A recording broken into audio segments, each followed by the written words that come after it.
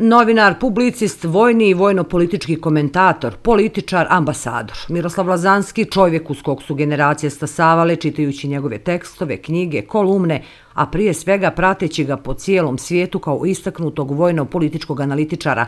Odlično poznavanje geopolitičkih prilika, vojne strategije i taktike u najvećoj mjeri obilježit će njegov život. Dobar dio armije mora da ostane na Kosovu zbog potencijalnog E, E, žarišta tamo, dio armije naravno i u području Sanđaka, jedan dio na granici prema Bugarsku. Rođen je 1950. u Karlovcu od oca Slovence i majke Srpkinje. Otac Vladimir bio je vojno lice, a najpoznatiji član familije Biljana Plavšić. Osnovnu školu završio u Karlovcu, u Trebinju srednju, a pravni fakultet u Zagrebu, gdje je i započeo novinarsku karijeru.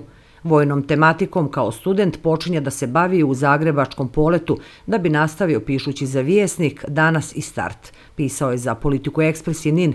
U martu 1991. Lazanski dolazi u politiku da bi 1996. prešao u večernje novosti, odakle se vratio u politiku 2001. Lazanski imao kolumnu i u grčkom listu, u Katimeriniju i japanskom Diamond Weekly-u.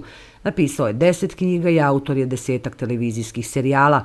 Kad gledamo taj sistem vrednosti koji je uspostavljen u, u, u državama posle raspada Jugoslavije, vidimo da je bogatstvo apsolutno kriterij prema kojim se svi ravni. U svojoj bogatoj karijeri intervjuisao je dva vrhovna komandanta NATO-a, tri maršala SSR-a, šefove KGB-a, 50 ministra odbrane i načelnika generalštaba svjetskih armija, između ostalog načelnike generalštaba Ruske, Kineske i Japanske armije.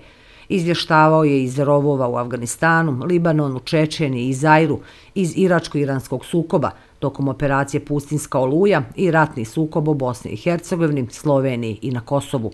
15. oklopna brigada Vojske Jugoslavije smatrala se jednom od najelitnijih jedinica Prištinskog korpusa, odnosno treće armije. Ta jedinica je podnela veliki teret borbe protiv šiptarskih bandi i terorista iz takozvane OVK.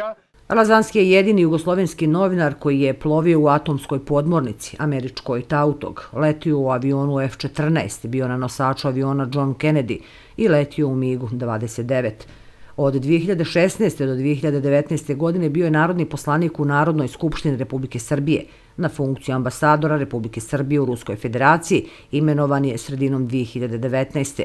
Njegova predanost, posvećenost i zalaganje kao ambasadora, kao i brojne aktivnosti usmjerene na dodatnom unapređenju saradnje i prijateljstva Srbije i Rusije, ostaće upamćena, a najviše od svega ćemo ga pamtiti kao velikog rodoljuba, izvrsnog pisca, novinara, eminentnog vojno-političkog komentatora koji je volio svoju zemlju i sa ponosom je predstavljao širom svijeta.